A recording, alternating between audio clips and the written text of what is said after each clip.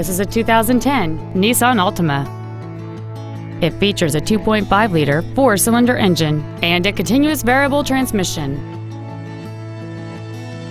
Features include a multi link rear suspension, a low tire pressure indicator, traction control and stability control systems, a security system, 12 volt power outlets, rear impact crumple zones, an anti lock braking system, a passenger side airbag, heater vents for rear seat passengers, and this vehicle has fewer than 52,000 miles on the odometer.